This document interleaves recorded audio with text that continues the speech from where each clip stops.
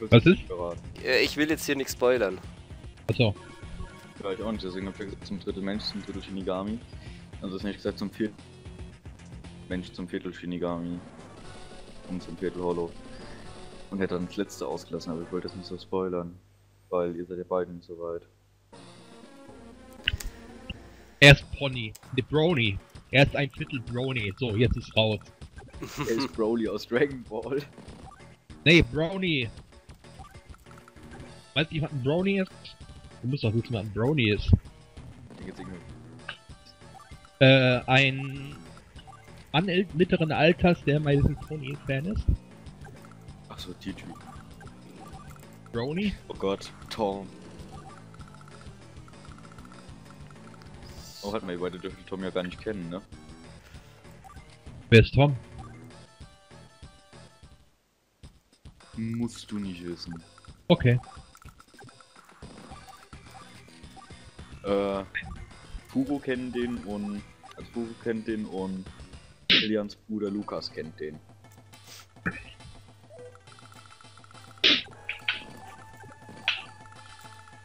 Den habe ich die alle auch kennengelernt und somit auch euch, aber. Ich finde diesen My Little Pony Fan seltsam.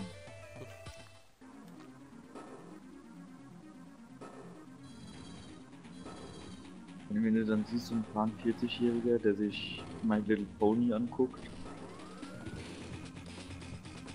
Ganz ehrlich, ich find's in Ordnung. ja, jeder kann machen, was er will, aber Ja, ich, ich, ich Genau persönlich kann das nicht nachvollziehen. Ich, ich mag die Serie nicht. ja, deswegen ist ja auch, bist du ja auch keiner. Sie glaube ich auch nicht. Und, naja gut, es ist halt eine Serie wie Spongebob, hat als, na gut, ähm, Little Pony hat als Kinderserie angefangen, hat dann in einer Zeit, als er gemerkt wurde, oh, es sind auch ziemlich viele Erwachsene, haben die angefangen, ein paar Jokes zu verstecken, die eigentlich teilweise ziemlich heftig sind. Ja. Vor allen Dingen der Joke, ich glaube, das ist einer der bekanntesten, äh, wo Gary Spongebob erwischt, wie er gerade Pornos guckt. Was irgendwie als, ja, es, es ist eine, es ist eine Natur-Doku gewesen, aber ja, ja, so wie er reagiert hat, war weiß. halt, ah, Gary, ah. Oder Der als er dann auch ähm, einfach mal vorne die gesamte Haut abgerissen bekommt und dann einfach mal sein Innenleben siehst. also ein Mist. Ja, es gibt auch eine Menge, es gibt auch ein paar Disney-Cartoons, äh, nicht Cartoons, sondern ähm, Disney-Sachen, die so an Ältere gerichtet sind. Ey, ich bin froh, dass die von dass die von Disney nicht bei manchen Märchen Versionen übernommen haben. Ich bin froh, dass die von Disney bei manchen Märchen nicht die Originalversion übernommen haben. Wieso? Brutal? Ähm, nicht nur das. Die sind auch teilweise ziemlich verwehrt. Ich meine, der böse Wolf hat Rotkäppchen, bevor es gefressen hat, vergewaltigt. Ah, okay. Und in noch einer anderen Fassung, in einer verdammt alten, ähm, ist Rotkäppchen dem bösen Wolf entkommen. Weil der böse Wolf wollte sie vergewaltigen und er hat dann, äh, und sie hat dann zu dem bösen Wolf gesagt, ähm, ich bin mal kurz kacken. Und dann ist sie Okay. kacken gegangen. Und dann kam.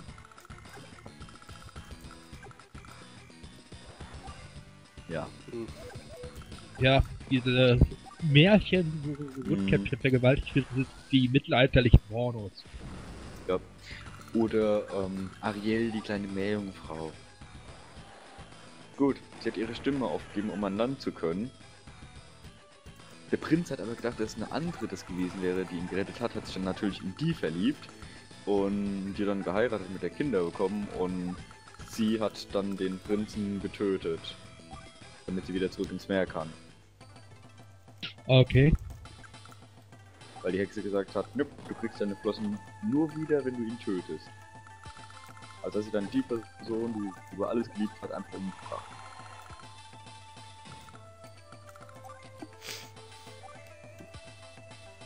Ja, Märchen sind toll. Ja. Ja, ich finde den Däumling auch so toll. Oh ja. Oder der Suppenkasper. Ja. Diese ganzen alten Märchen so schön. Ja. Äh, die, ja, diese deutschen Kinder. Das sollte kein Kind mehr vorlesen. Mhm.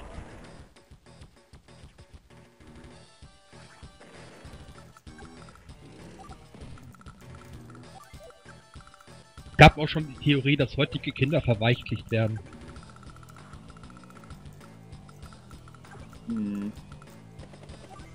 Diese ganzen Hobby. Hm? Diese ganzen Hobby-Gangster heutzutage. Ach ja, Hobbygangster, ja.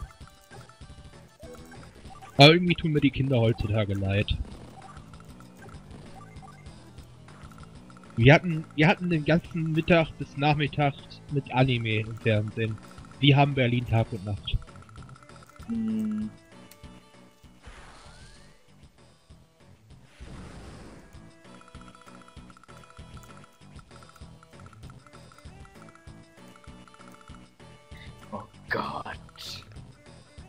Gerade das achte Kapitel von Dragon Ball Super.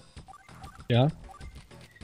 Wir haben den ursprünglichen Heimatplaneten der Saiyajins mit dem Namen Salat übersetzt. Was? Der fucking Planet, der Ur sind der Saiyajin, also nicht Planet Vegeta, sondern den davor. Achso, verdammt nochmal Salat genannt. der Der Planet, Planet- vor Vegeta? Salat. Ja, der Ursprungsplanet, wo halt ähm, viele, viele Jahre auch nur als Osarus gelebt haben, bis sich dann so Saiyajins weiterentwickelt haben. Die haben Vegetarier. Davon- Ja, die haben den Namen hier einfach mal mit gesetzt. Okay, ja, Dragon Ball war ursprünglich ähm, von den Namen wie Kakarot und sowas und die, ähm, an sowas angelehnt, weil es eigentlich werden sollte äh, für gesündere Ernährung. Also zumindest Dragon Ball Z. Das normale nicht. Und hat es dann aber verworfen, weil das Konzept einfach viel. Ja, weil das ähm, Konzept, so wie es aufgefasst wurde, oder ist dieser Kampf-Anime, den heutzutage fast jeder kennt, den eigentlich jeder kennen muss, äh, muss. Weil das einfach viel besser ankam und wieder gelassen. Und jetzt übersetzen die das hier so. Alter, da haben die was jetzt hier echt scheiße gebaut. Was heißt denn Kakarott übersetzt? Ähm, Kakarot sollte eine Anspielung sein auf Karotte. Alle Namen in Dragon Ball Ja. oder Dragon Ball Z sind Anspielungen auf irgendwelche Und- Lebensmittel. Außer ähm, Freezer und Cooler. Und Cell, ja. Ja. Freezer kann man mit dem Kühlschrank noch irgendwas machen. Ja, ja, Freezer, Kühlschrank, Cooler, Gefriertruhe. Okay. Ja, King Cold, ja, König Kälte.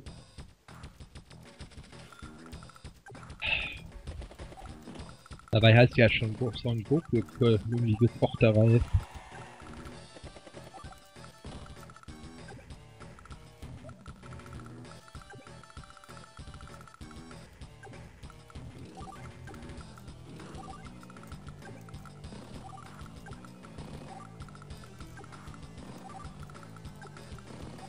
Ah ne, Goku ist gekochter Reis, oder? Was? Goku ist doch irgendwie gekochter Reis. Bitte?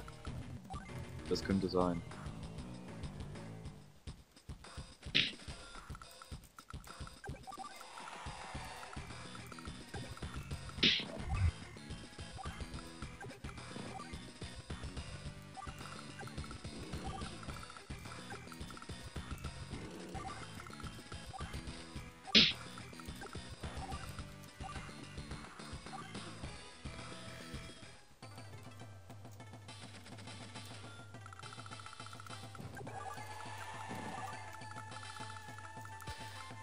Yeah.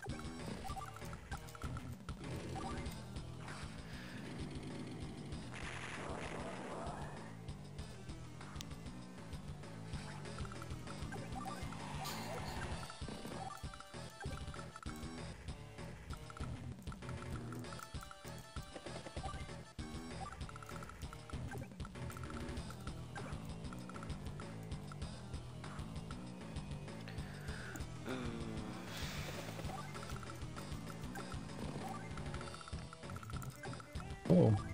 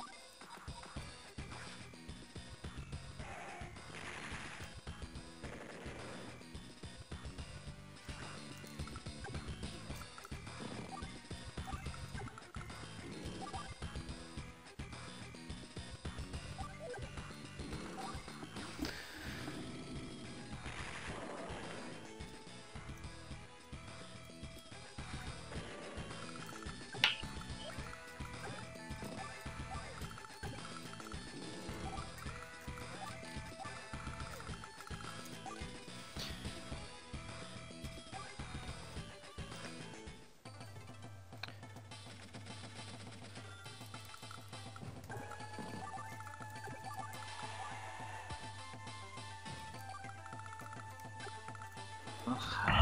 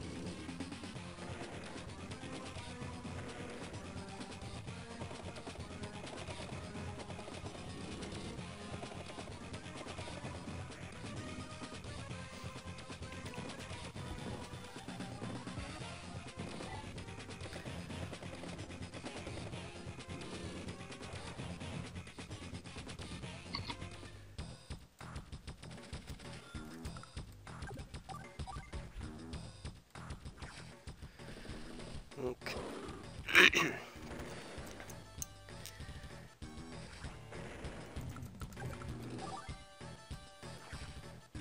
Wenigstens habe ich ihm die Flak hier schon mal aus der Reserve gelockt, dann kann ich die jetzt mit dem Panzer und dem Bomber gleich kaputt machen.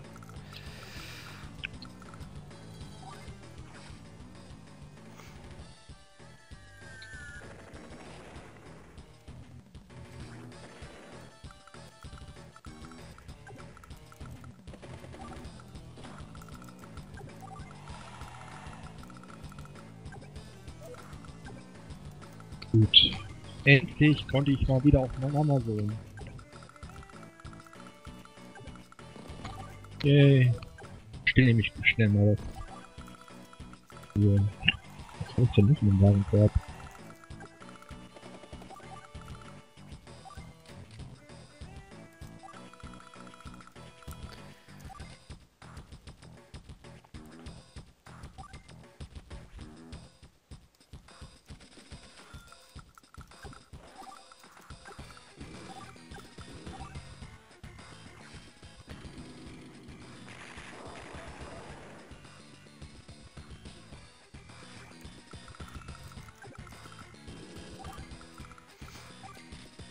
Was aus dem Warenkorb löschen? Hm. Keine Ahnung, kommt auf die Seite an, auf der du bist. Ah, ja, jetzt.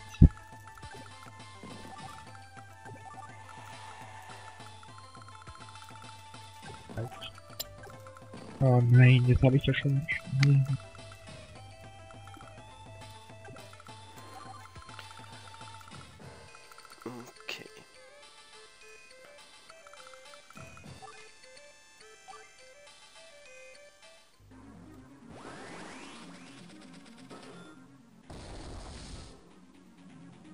Achso.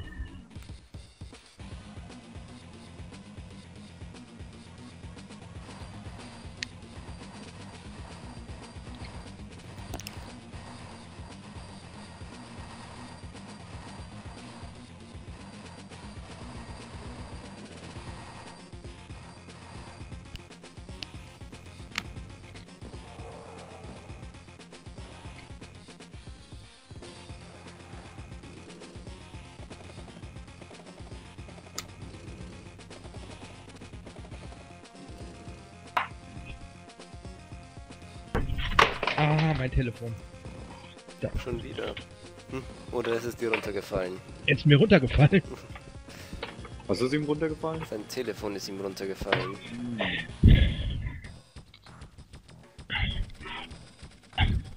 Hm.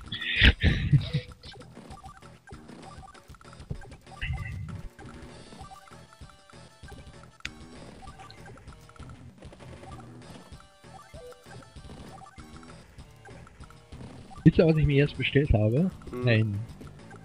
Das ist ein, ähm. Ja, fast schon ein Spielzeug, aber. Irgendwie cool. Kommt man bestimmt gut auf der nächsten, kommt man bestimmt, wenn man damit umgehen kann, gut auf der nächsten Party an. Ein Flaschenöffner ist das. Und zwar ein Butterfly-Flaschenöffner.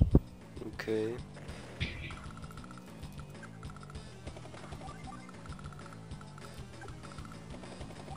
Butterfly-Flaschenöffner. Okay. Ich wollte mir schon immer mal einen Butterfly holen, weil da mit so um einfach mit rumzuspielen, weil mir aber als, als Messer viel zu doof ist. Und äh, ich einfach kein Messer brauche. Ähm, habe ich mich mal umgeguckt und habe gesehen, es gibt auch Flaschenöffner, Butter, Butterfly Flaschenöffner. Da ich mir das ist praktischer. Als Messer. Für mich jetzt gesehen. Und äh, kannst du auch mit rumspielen, kannst dich nicht mit schneiden, höchstens Finger klemmen.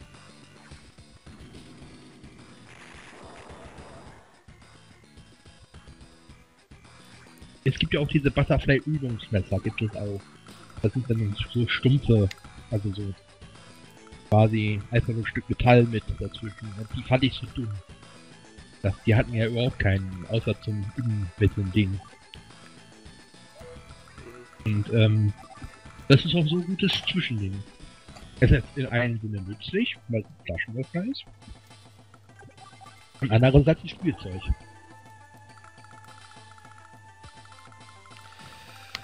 Oh, ich glaube, diese Missile lohnt sich irgendwie hier. Oder brauche ich die da hinten gerade eher? Hm, nee, der hat noch keine Infanterie da in der Nähe. Ja. Einmal mal in die größte Einheitenmasse reinschmeißen.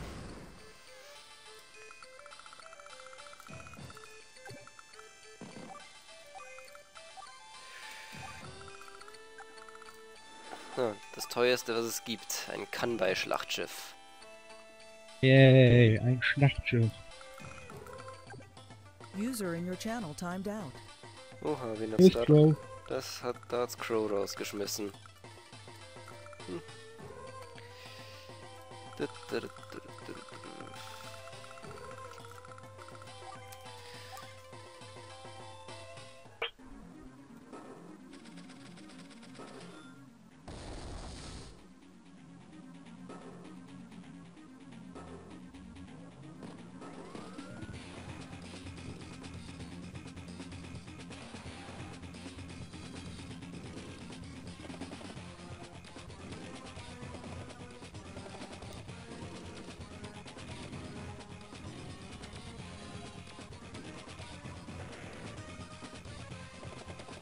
Fand ja auch die Leute lustig, die jetzt Blade Source gespielt haben in der Beta und jetzt ist das ja live in, äh, in Nordamerika und Europa, ne?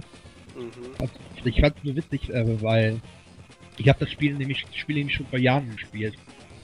Und zwar in der koreanischen Beta. hab, mir auf, hab, mich, hab mich für die koreanische Beta angemeldet. Hab, hab mir einen Beta-Account besorgt. Hab das dann in Korea gespielt, auf den koreanischen Server gespielt. User joined your channel. Da ist Crow wieder da. So, die sind aus meinem Internet abgespackt. Ja, nee. ich gehe mal davon aus, dass dein Skype dann auch rausgehauen hat, oder? Ja, Willst du wieder eine Bildschirmübertragung? ich, ich bin schon wieder drin im Gespräch und hab die Bildschirmübertragung. Ach, du hast sie immer noch, okay. Deswegen habe ich ja auch schon Planet äh, Fantasy Star Online 2 gespielt.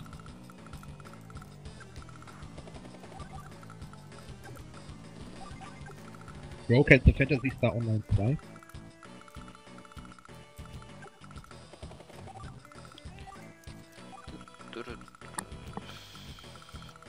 Hm?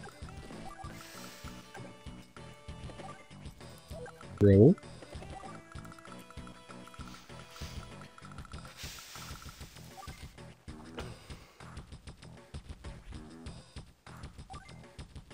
Ich glaube, er fliegt wieder raus. Oder ich flieg raus, weil keiner mehr nee, aufwacht. ich höre dich noch laut und deutlich. Ich höre dich auch. Ist es das jetzt schon wert? Oder spare ich auf eine Super?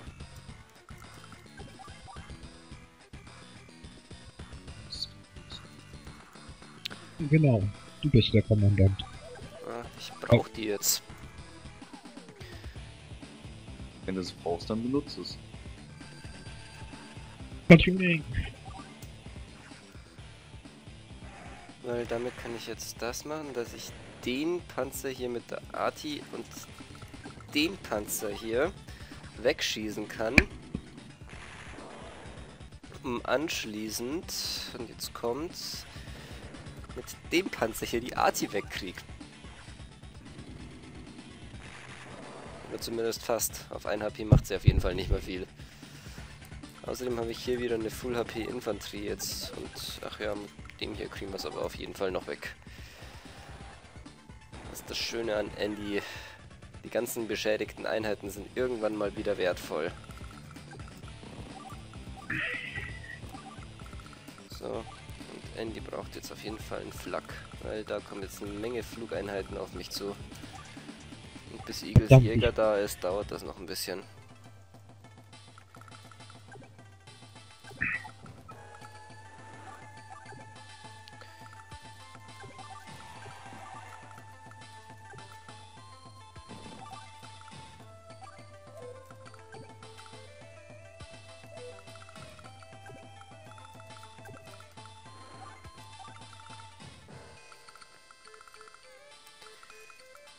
So. Mit Kanbei kann ich hier nicht mehr allzu viel machen. Der muss sowieso nur dieses Geschütz da unten kaputt machen.